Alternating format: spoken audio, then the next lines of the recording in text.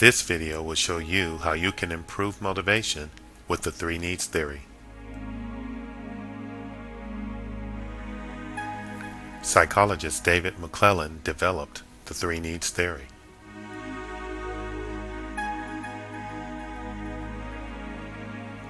This theory explains that everyone has differing needs for affiliation, achievement, and power.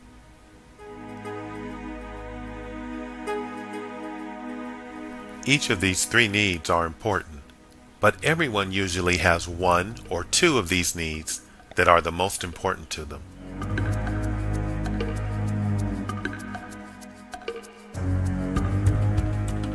Your employees bring these three needs to the workplace.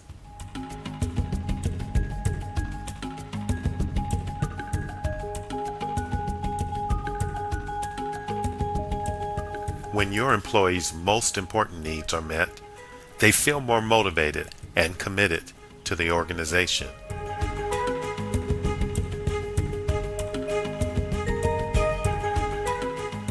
When your employees' most important needs are not met, their morale suffers. This weakens their motivation.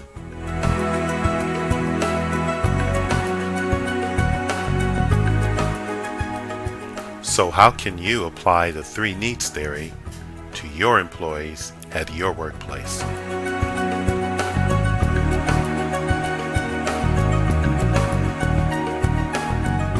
By making simple adjustments to your leadership style, you can improve the working environment and employee motivation.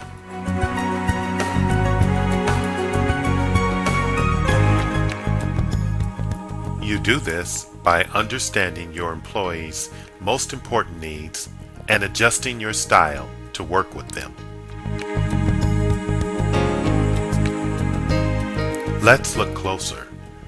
These are your employees that have a high need for affiliation. What exactly do they want from the workplace?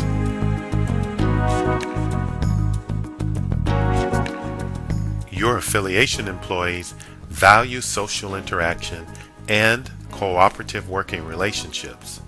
They are energized by working with others and they have a sincere interest in the feelings of others.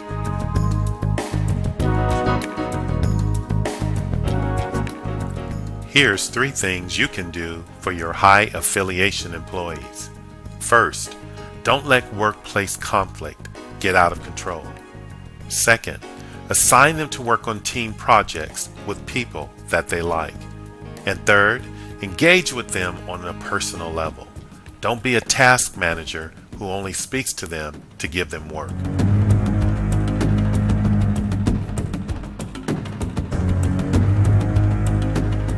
What about your employees who have a high need for achievement?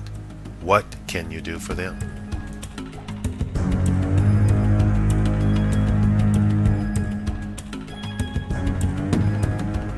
Your achievement employees value recognition and fulfilling their goals. They are energized by taking personal responsibility for work tasks. They also like detailed feedback on their performance and taking on moderately difficult challenges.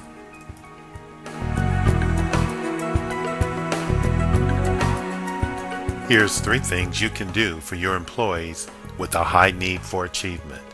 First, Set them up to succeed. Provide growth and educational opportunities. Second, tell them what you want and give them autonomy to get their work done. Don't micromanage. And third, give them detailed feedback about their performance. Be specific and constructive in your feedback.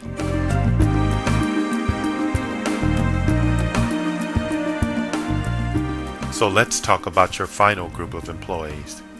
Your employees who have a high need for power.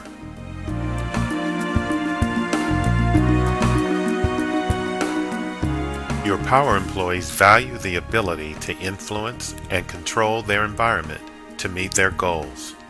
They seek leadership opportunities and they communicate in a direct manner.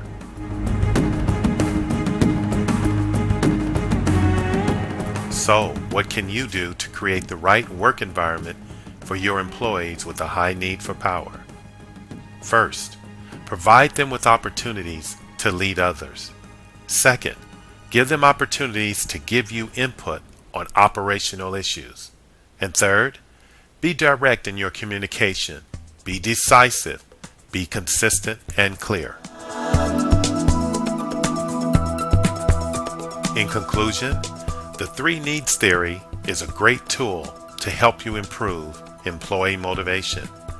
All it takes is for you to learn the individual needs of your employees and align your leadership style with their most important needs.